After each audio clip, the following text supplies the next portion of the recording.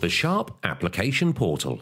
The application portal is to be enabled by a Sharp trained authorized engineer. Once enabled, the portal will allow you to download and install applications such as OneDrive or the Dropbox connector.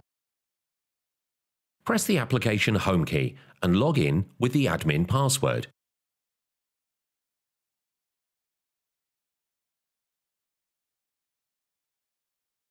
This will now show you both the available and installed applications on your device.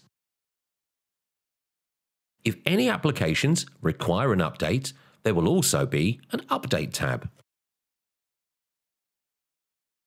Choose the application that you wish to install.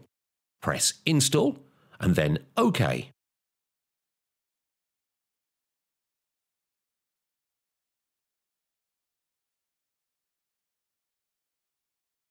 You can now see the download and install progress, and when the application has finished installing, the installed icon will appear.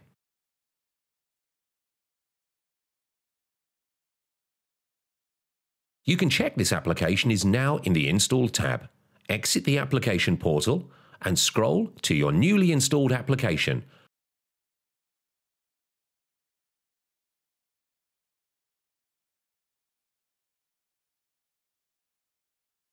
log in using your credentials.